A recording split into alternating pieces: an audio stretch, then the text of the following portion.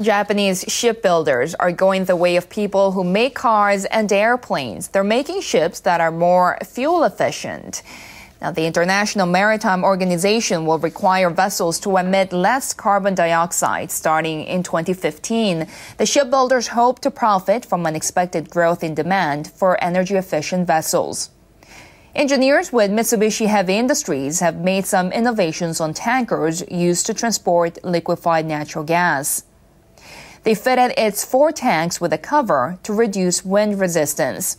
They say that improved fuel efficiency by 25%. And engineers with Mitsui Engineering and Shipbuilding are turning to the wind in their efforts to save fuel. They're developing metal sails so they can use wind power help propel large ships.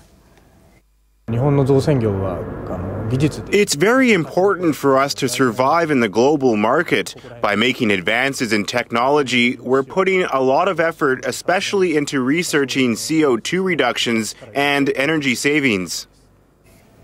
The Japanese are in for some competition. South Korean shipbuilders are making similar efforts.